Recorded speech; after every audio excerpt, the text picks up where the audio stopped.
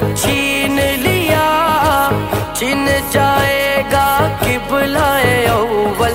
कर ये फलस्तीन गया बहरे कानों को अपनी आवाज़ सुनाने निकले हैं। हक का परचम कुफर के सी